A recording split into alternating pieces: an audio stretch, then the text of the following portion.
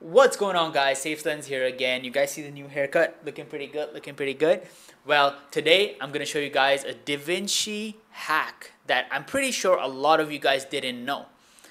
Let's get on the computer, but this time you're going to also look at my phone while you look at my computer and it's going to be some crazy surprises. We're here in DaVinci 18.5, so I'm going to show you this new hack that you guys could see live on your phone your live edits as you do them on DaVinci. So there's this app, it's called um, Remote Monitoring Session that you guys need to go download from the App Store, okay?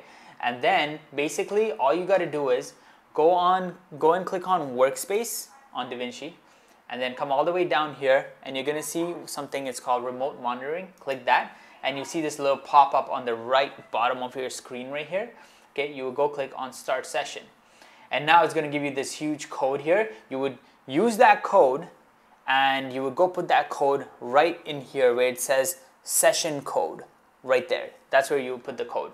So basically I'll take the code and I'm going to send it to myself. Alright guys, so I just sent the code to myself. Let me show you guys how it works. So you go here on session code, go click that and you will paste your code as you see and then you will click done and join and watch this. Watch this, watch this.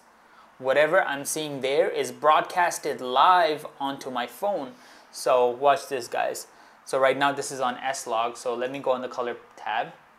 And now if I bring down my highlights on DaVinci, see how I brought down my highlights? Now watch, when I, when I put my highlights back up, it turns it up on the screen and my phone. So down, now I can actually look at my colors that is gonna export on my phone and so there you go. And then I'll add a little bit of an orange tint on it add some saturation some contrast. And when I play it on my computer screen it actually also plays on my phone at the same time.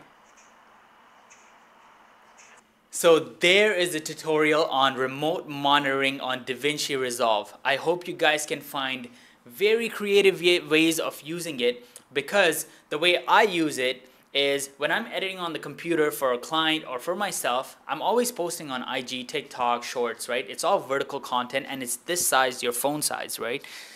If I'm editing on a huge screen, probably I'm not kind of placing the image the way I want it to be placed, you know? Obviously, IG has like only the the the middle of the screen to the top of the screen available because the bottom your caption is going to go in, right?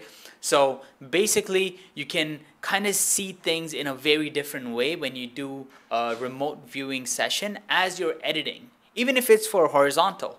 Even if it's horizontal, it works, but vertical is key, guys, because nowadays shorts and anything vertical is just booming, right? So you guys got to get on this, guys.